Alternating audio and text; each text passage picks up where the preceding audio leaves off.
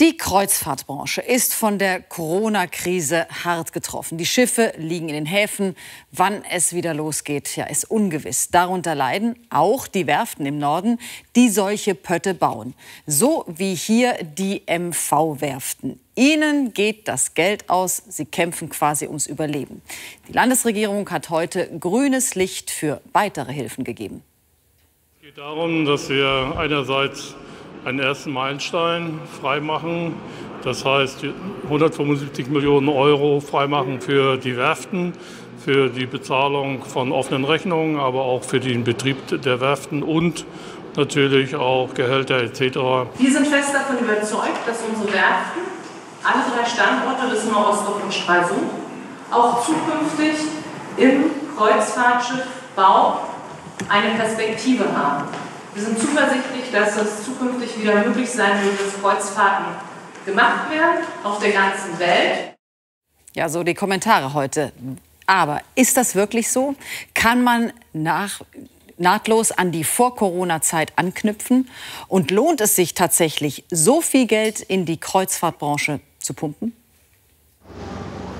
Ab die nächste Tour! Bei einer Rundfahrt durch den Hamburger Hafen bekommt man dieser Tage Außergewöhnliches zu sehen. Geplatzte Träume aus weißem Stahl. Hier liegen Traumschiffe.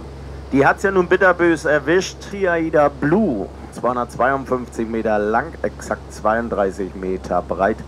Sie bietet Platz für 2150 Gäste.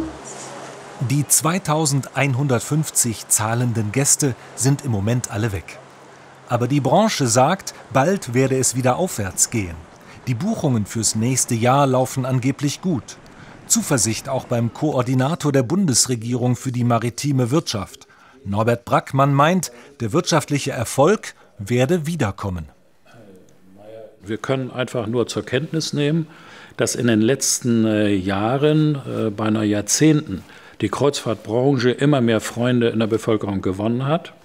Europa ist mittlerweile und in Europa wiederum Deutschland äh, der größte Kundensteller für die äh, Kreuzfahrt. Das heißt, das ist ein äh, sehr beliebtes Urlaubsvergnügen ganz offenbar.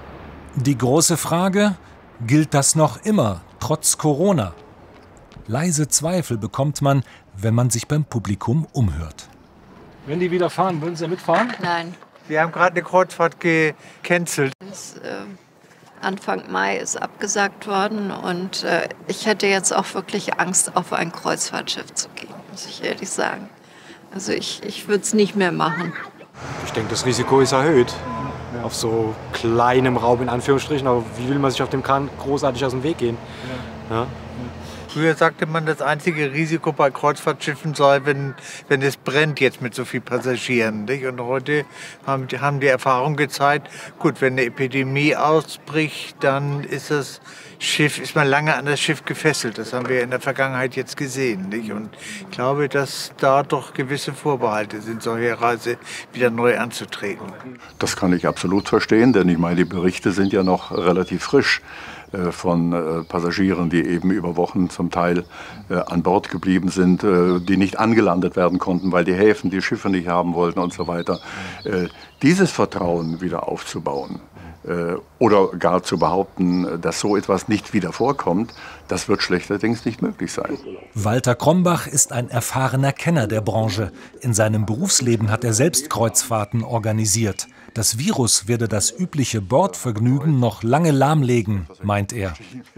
Dieses Entertainment an Bord, was ja Nähe auch äh, erfordert, äh, vom Essen an groß, größeren Tischen äh, angefangen bis zur Abendunterhaltung, äh, bis zu den Events an Bord. Und äh, wenn ich jetzt weitergehe, die neuesten Schiffe, äh, die ja zum Teil sogar dann Achterbahnen oben auf dem obersten Deck haben, all das kann man sich unter den momentanen Voraussetzungen schlichterdings nicht vorstellen. Ich glaube nicht, dass irgendjemand wirklich glaubt, dass in absehbarer Zeit der Boom nahtlos fortgesetzt werden kann.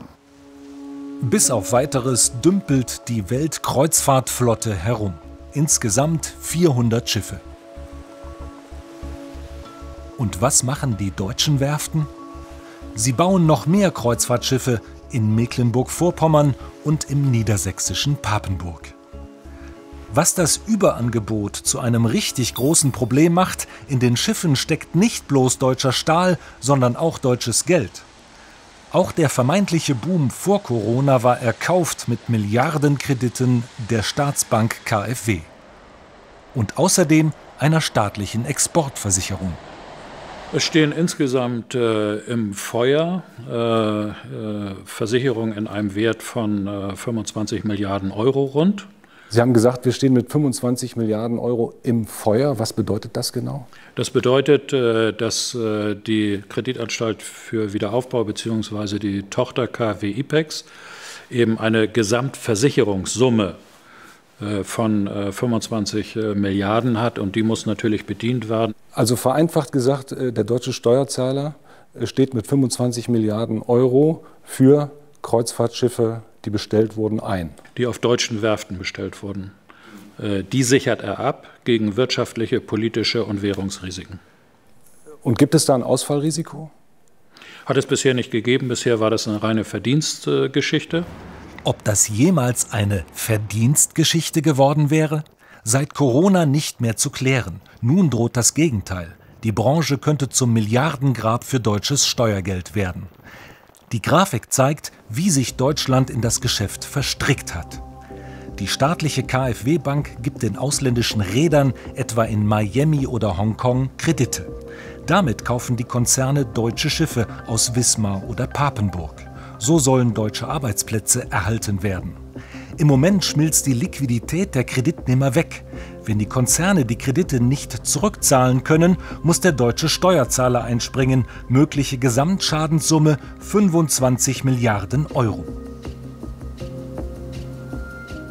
Wie dramatisch die Lage ist, kann man im niedersächsischen Wirtschaftsministerium erleben. Vertreter der Meierwerft sprechen in Hannover vor, bitten um verstärkte finanzielle Unterstützung durch die Politik. Der Kreuzfahrtschiffbau befindet sich in der größten Krise seit seinem Bestehen. Und äh, die Krise ist massiv. Und wir sind dabei, gerade die Karten zu, zu sortieren.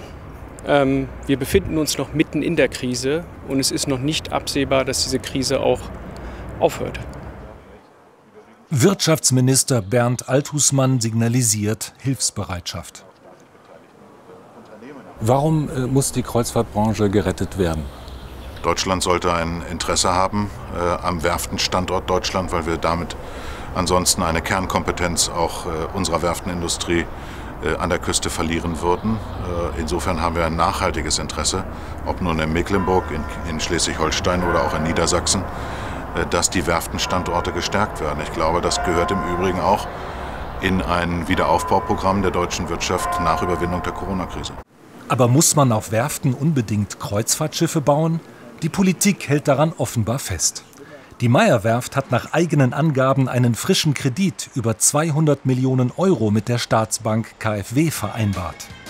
Und die Bundesregierung bewilligt weitere Corona-Hilfen, etwa einen Aufschub der Rückzahlung der früher gewährten Milliardenkredite. Schuldenurlaub, so der putzige Name. Erstmal ein Jahr lang brauchen die Konzerne die Milliardenkredite aus Deutschland nicht zu bedienen. Deutschland wolle so verhindern, dass die 25 Milliarden Versicherung fällig wird, sagt der maritime Koordinator. Jetzt äh, haben wir akzeptiert, dass zwei Raten gestundet werden, also äh, in diesem Jahr nicht fällig werden. Also die Kreuzfahrtreedereien brauchen diese Raten zweimal nicht zu bezahlen? Äh, erst verspätet zu bezahlen. Mhm. Um wie viel Geld geht es da? Die Raten, die fällig äh, werden, äh, haben einen Wert von ca. 1,5 Milliarden Euro. Die Hilfen, die jetzt fließen, könnte das ein Fass ohne Boden sein oder wie, wie schätzen Sie das ein? Ich könnte das, äh, ich fürchte das. Ich fürchte, dass, dass es ein Fass ohne Boden ist, weil eben tatsächlich äh, damit äh, der eine oder andere nicht wirklich gerettet werden kann. Corona hat die Kreuzfahrtblase platzen lassen. Für die Allgemeinheit droht es teuer zu werden.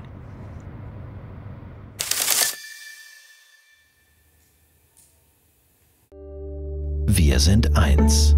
ARD.